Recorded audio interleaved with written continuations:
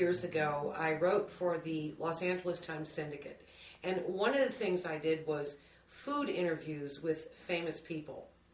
So I decided I wanted to interview Paul Newman. Well, my editor said, Are you kidding me? Paul Newman hasn't done an interview in five years. When I walked into his apartment building in New York City, the doorman greeted me and he said someone would be down to get me in a minute. Well, the elevator doors parted and there was Paul Newman. At the time, he was wearing tinted sunglasses, and so he let them slide down his nose, and in that famous gravelly voice, he goes, Hi. So I got on the elevator with him, and there we were riding up shoulder to shoulder. He wasn't saying anything, so I just turned to him and I said, So, are you nervous? He said, A little bit. And so we had lunch together in his beautiful antique filled apartment, and uh, he described lunch as his very favorite salad. And so I will show you exactly how he made it. Well, Paul Newman loved bacon in his salad, and it had to be really, really crispy. He mentioned that he hated undercooked bacon. So I am frying about six or seven pieces of bacon,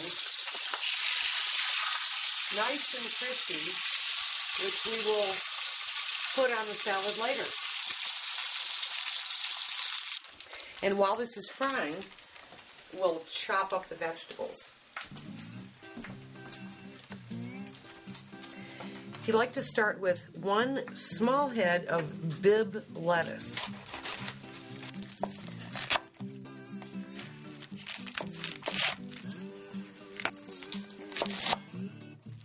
Cut this up.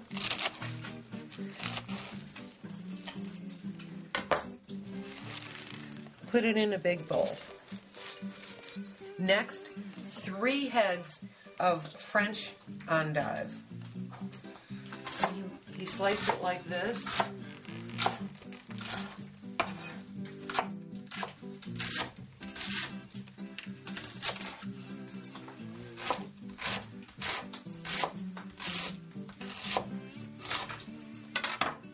And we'll add that to the Bibb lettuce.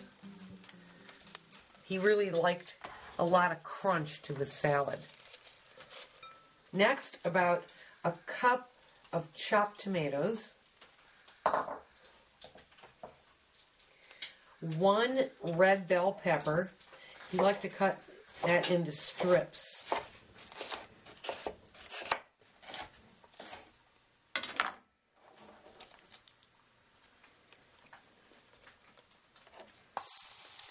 Bacon is nice and crispy, so I'm going to put that on a paper towel.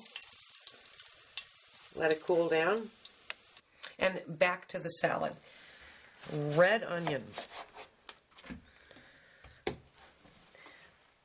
Just cut real thin slices like that of red onion.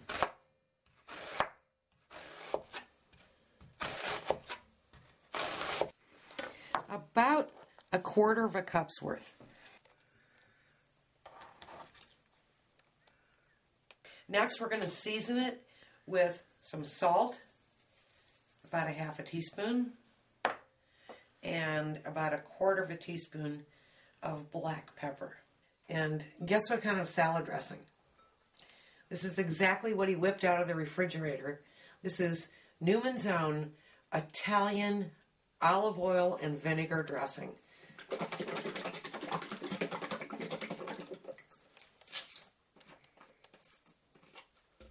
About a half a cup. And now we'll give it a nice toss.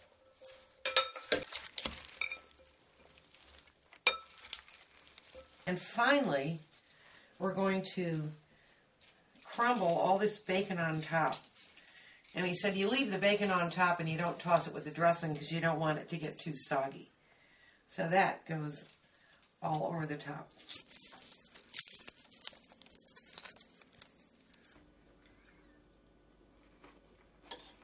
Mmm. It's delicious. I love the endive, and the bacon makes it.